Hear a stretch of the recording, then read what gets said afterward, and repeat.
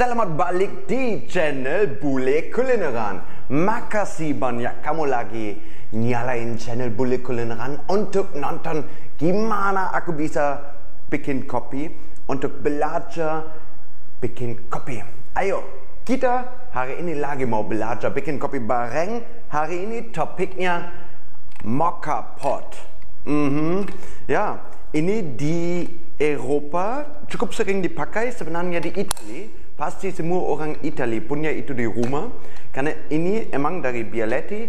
Dia menciptakan itu tahun 1933 dulu diinspirasi dari mesin cuci istrinya dengan sistem uh, apa namanya? Suap suap bukan suap ah, bukan suapin dong. Maksud aku uap ya. Um, ya sistem uap. Nah di Italia semua orang punya uh, ini tapi juga di Jerman kalau kita lihat di rumah nenek atau juga di rumah-rumah mahasiswa cukup banyak mahasiswa punya ini. Karena itu juga kelihatan bagus sebagai dekorasi kan tapi masalahnya kebanyakan orang tidak tahu gimana bisa bikin kopi enak dengan ini. Dan itu termasuk aku juga Nah, karena di Jerman aku pernah bikin itu beberapa kali. Misalnya kalau kita lagi harus belajar untuk ujian atau apa. Kita bikin ini karena kita tahu ini bikin kopi yang sangat kuat. Seperti espresso. Tapi ya rasanya emang... Ya. Tapi hari ini aku mau coba bikin kopi enak dengan ini. Karena sekarang aku pernah belajar cukup banyak tentang uh, mocha pot dan gimana bisa bikin kopi enak dengan ini. Dan karena itu aku pikir kita langsung mulai bikin kopi. Ayo. Nah, ini sebenarnya begini. Harus dibuka. Nanti kita masukin air ke dalam sini. Dan di sini kopinya. Dan karena nanti ada pressure, itu akan di, di push lewat situ sampai di atas dan keluar di sini.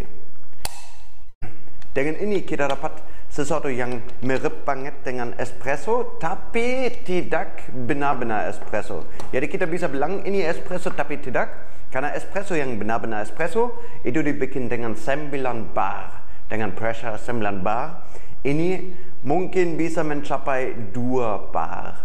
Itu artinya juga um, yang minyak aroma atau gimana kita bisa panggil itu minyak aroma dalam biji kopi itu itu tidak bisa semua keluar. Karena dengan 9 bar uh, pressure itu bisa semua di, di push keluar dari dari bijinya ya atau dari bubuknya. Kalau kita bicarakan mocha pot, kita tidak bisa bicarakan uh, rasio seperti di V60 atau di yang lain. Karena di sini cukup simpel kita harus masukkan air sampai nah sampai di bawah sini ini safety uh, pressure release. Kita tidak boleh lebih dari situ. Dan ya, masukkan kopi ke sini sepenuhnya. Itu kira-kira 20 gram. Ya, jadi tidak benar-benar bisa main dengan rasio ya. Nah, jadi untuk bikin kopi ini kita perlu kira-kira 20 gram. Um, tapi kita harus lihat jadi cuma kira-kira 20 gram karena itu harus isi tempat ini kan. Untuk itu hari ini kita ambil kopi Batak dulu. Sebenarnya untuk kopi dengan mocha pot kita juga bisa ambil robusta atau blend karena um, ini emang espresso biasanya dibikin dengan robusta. Sekarang di Indonesia juga ada trend bahwa ada beberapa coffee shop yang cuma jual semua dengan arabica dan untuk saya itu lebih cocok karena aku emang lebih suka rasa Arabica itu ya.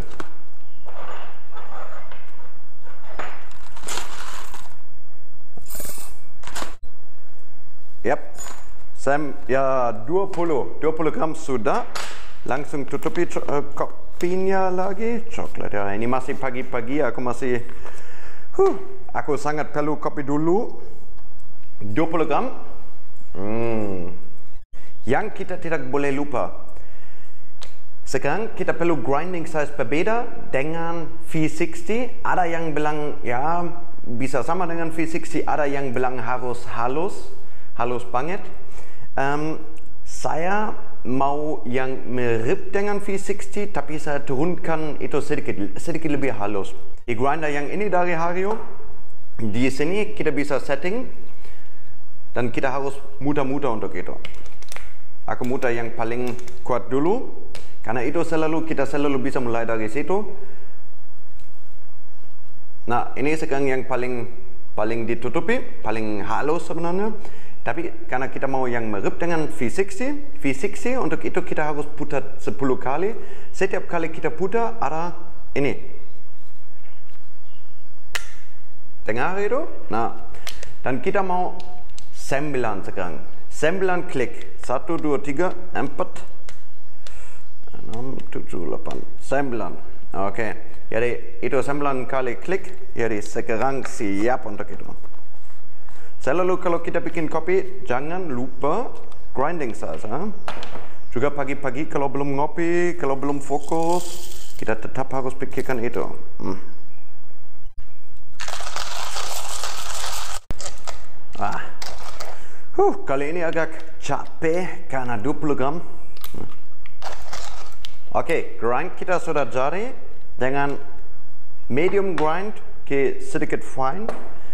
Tapi sekarang kita mulai isi air ke, ke dalam cooking chamber atau apa namanya.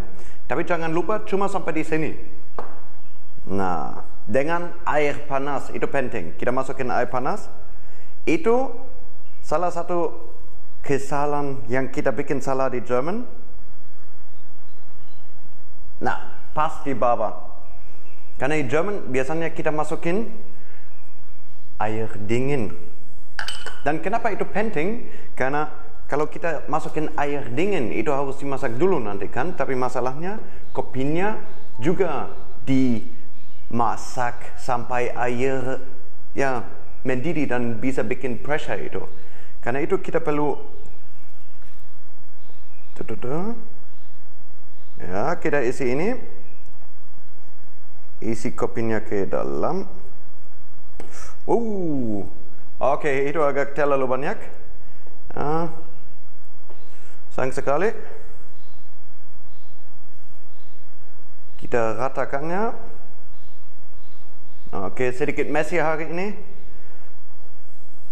Nah, tapi indah.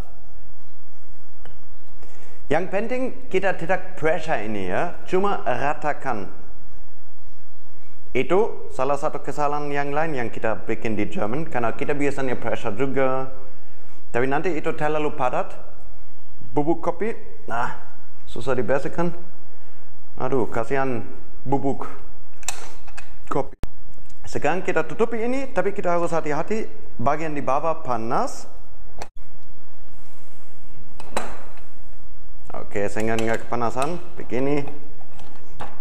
Ini dimutar cukup kuat tapi tidak terlalu kuat. Karena ini emang mesin kopi bukan mesin uh, apa Ferrari atau apa ya. Ayo, sekarang kita masaknya.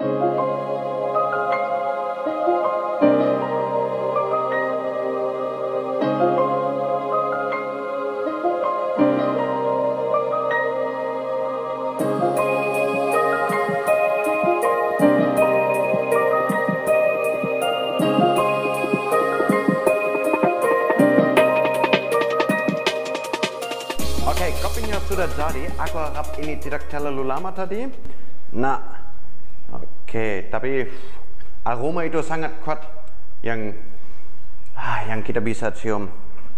Nah, ayo kita langsung isinya ke dalam cangkir. Ah, lihat ini.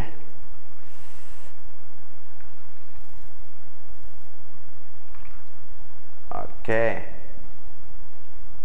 Nah, Ini seperti emang eh, seperti espresso? Hampir seperti espresso ya. Hmm. Not so bad. Ini boleh ya. Ini rasa seperti espresso sebenarnya hampir.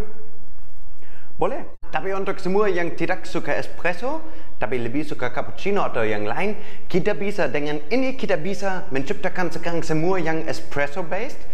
Tidak dengan rasa emang yang 100% sama, tapi hampir. Dan untuk itu kita cuma perlu yang ini, yang kelihatan seperti untuk gosok gigi, Aero Latte.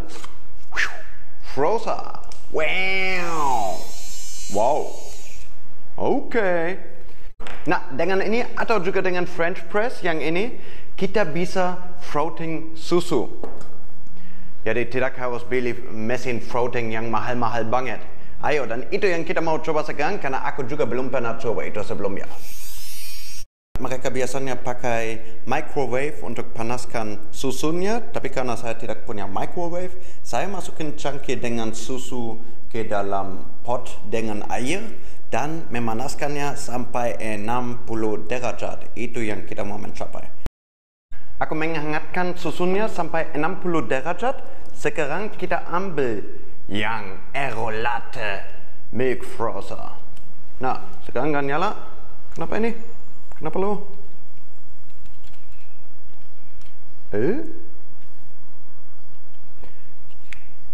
Oh, aku tadi salah ya, harus. Oh gitu, lucu juga.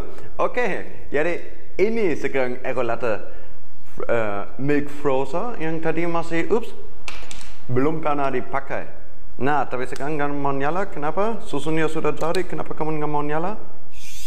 Ah, oke, okay, ayo kita mulai sebelum susunya dingin. Oh shit. Oke, okay, sekarang kalian bisa lihat.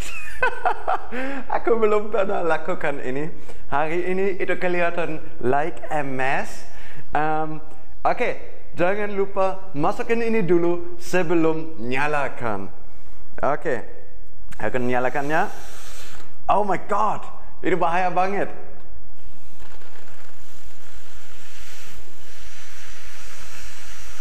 Oke, okay, mungkin cangkir aku terlalu kecil. Karena sebenarnya itu udah mau keluar lagi.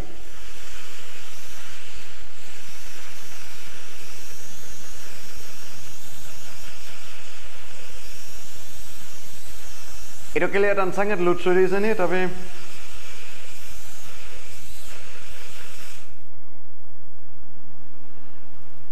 Hmm, mungkin itu gagal sedikit.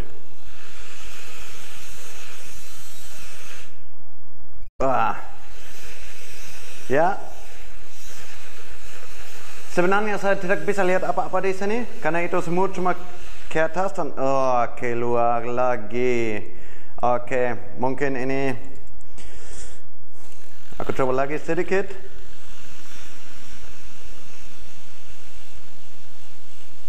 Hmm. Jadi yang kita belajar dari ini, kalau kita mau floating milk uh, atau susu, Jangan ambil cangkir kecil.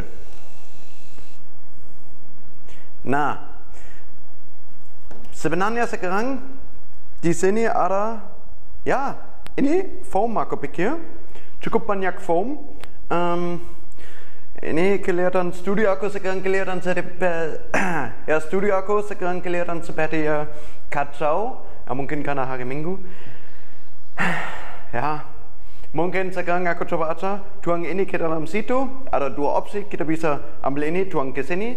Atau dibalik. Um, sekarang ini sudah kelihatan seperti MS. Ya, nggak apa-apa. Ya. Hmm.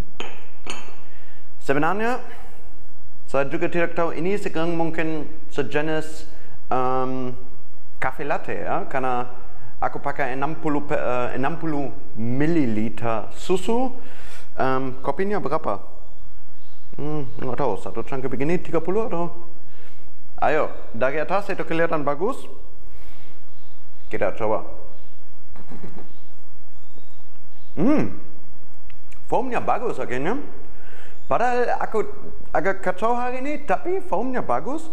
Cukup tebal. Lihat. Hmm.